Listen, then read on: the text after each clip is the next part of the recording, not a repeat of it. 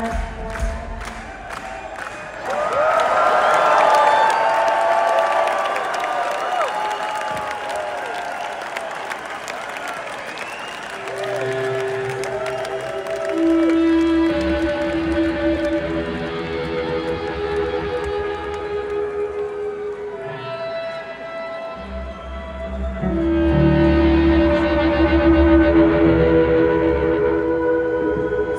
Francisco, you've been absolutely wonderful. Thank you so much.